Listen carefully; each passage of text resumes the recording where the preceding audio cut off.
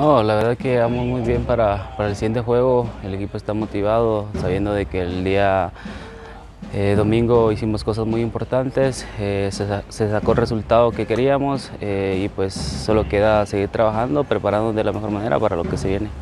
Va partido contra Comunicaciones, esa zona defensiva, ¿cómo la ves? Mejía, teniendo en cuenta que sos extremo.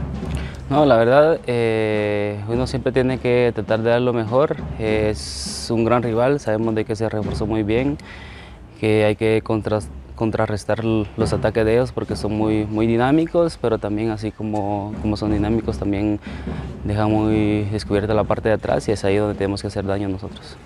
Ejía, durante la semana, pues uno de los directivos de Antigua GFC nos comenta sobre un estilo de juego directamente del club.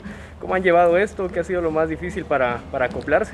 No, el estilo de, de, Antigua se viene, se viene viendo desde hace unos torneos atrás. Bueno, desde que yo llegué, pues... Eh, la metodología de que quería la directiva eh, se fue trabajando, por ahí eh, en partidos no lo hemos demostrado porque así es el fútbol, a veces se juega bien, a veces se juega mal, pero la metodología siempre, siempre está ahí, que es la que caracteriza a Antigua por, por jugar el fútbol, por, por hacer muy compactas sus líneas, eh, un equipo muy dinámico como lo hemos demostrado y pues solo queda seguir trabajando y mejorando las cosas que aún faltan ese sistema que vos mencionás, eh, los extremos, ¿qué labor tienen eh, Cuilapa?